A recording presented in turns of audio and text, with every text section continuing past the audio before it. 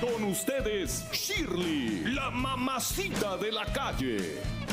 Ah, Me encantan los tipsitos de Shirley. escuchen porque las velas sirven para muchas cosas. Ay, qué rico. Mira, Carlos, ella está dándolo todo, mi amor. Espérate y verás para ver lo que va a servir tu vela. El velón, mi amor, Coge tu prepara vela. ese velón de Mueve lo tuyo, Carlos. Prenda la vela. Qué rico. Porque resulta, resulta que vamos a dar hoy precisamente truquitos para Ay. mejorar muchísimas cosas en la casa con tu vela de cera. Con la Entonces, coge tu vela de cera, Carlos, el cirio pascual. Yo tengo un velón, Chile. Ese te sirve Ah, también. y vamos a lubricar, Carlos. Vamos con ese cirio pascual, vamos a lubricar.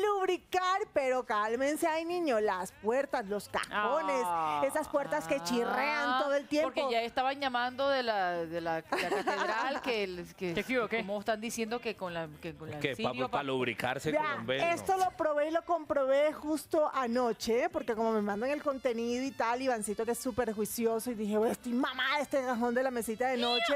No, no me cerraba bien, Da. se me atascaba, entonces cogí una velita normal y saqué el cajón, y cajón, la pasé por los rieles. por los rielecitos del cajón y suena, o sea, entra perfectamente. resbala. Ya resbala, entra Qué suavecito, maravilla. igual pasa con esas puertas que chirrean, que suena, que uno dice, ay, póngale tres en uno, póngale dos en cuatro, póngale, ah, no sé qué. Échele su velita, su cera, se la pasa por ahí y cuatro. deja de sonar. Señores, santo remedio. remedio. Ve qué chévere. También para abrir una cremallera Ah, eso te iba a decir. Ah, sí, eso les iba a decir. De, cualquier del la de.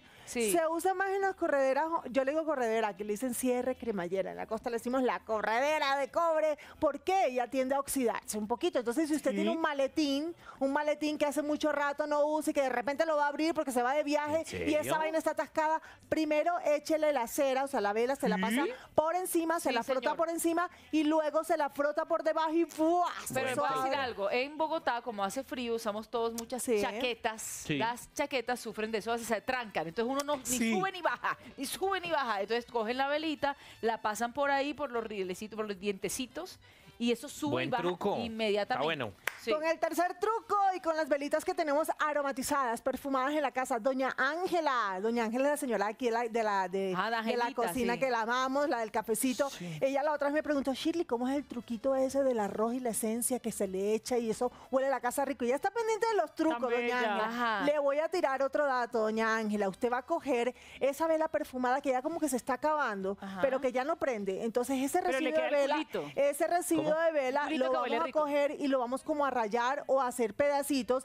Va a coger una media velada, doña Ángela, va a meter ese residuo de velita ahí rayada tal, la amarra y la mete dentro de los cajones de la ropa interior, la ropita que ya le huela feo, no sé, donde usted quiera, Las en el armario, Aguardado. la mete ahí exactamente para que la ropa no huela a sarcófago, sino que huela a- y el resto de, de- de- de velita usted coge y le esparce por ahí y eso tiene buen olor, oiga, de verdad. Doña Ángela, tráigase unas velitas acá para el estudio.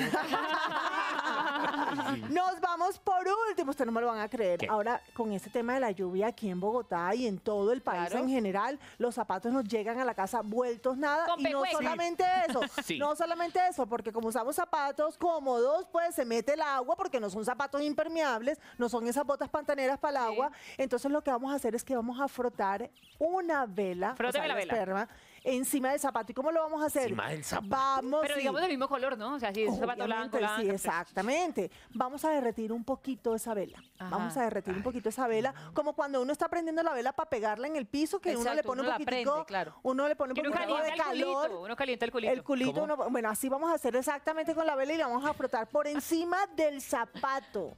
Y luego la vamos, la vamos a como, como a, a fijar con un eh, prendiendo el, el secador Ok. Sí. bien calientico ahí encima del zapato Para que termine de para que bien. termine de pegarse, impregnarse y ya no se le van a mojar los pies cuando usted está atravesando el charco. eso impermeabiliza el zapato. Exactamente. Ahora, si no le pasa la pecueca, coja la vela y queme el zapato.